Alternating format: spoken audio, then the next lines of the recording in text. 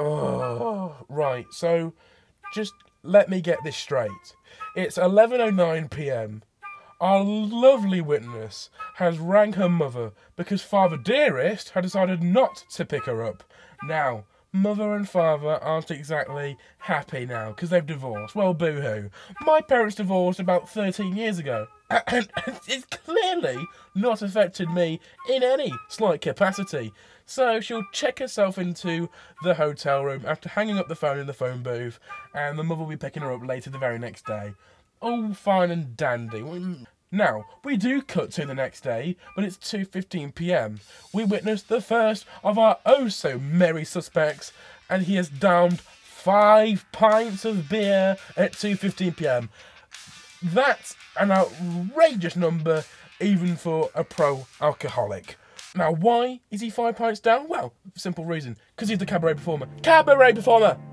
It is 2023, and this man is performing cabaret?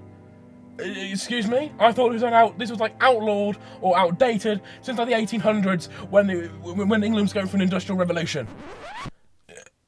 Anyway, we've at the same time we also meet the second of our oh so wonderful suspects in this entire narrative, who's an sir.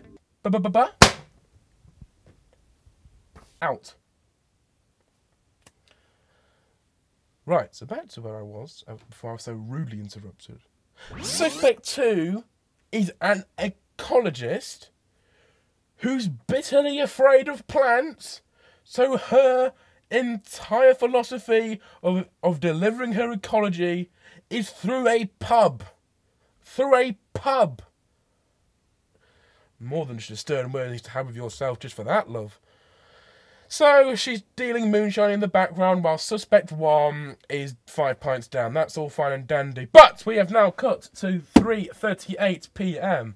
And what's happened now? Well, suspect one and two are now mingling outside said pub. And what are they doing? Well, suspect two has carried on her trade of dealing moonshine, just this time to suspect one. Until, ladies and gentlemen, the witness from the night before after mummy and daddy split up and she's getting a hotel room after dad didn't pick her up so mum's going to pick her up the next day later on has witnessed the entire interaction and the transaction of money for the moonshine and is in pure shock and we land right here. So just let me get this straight.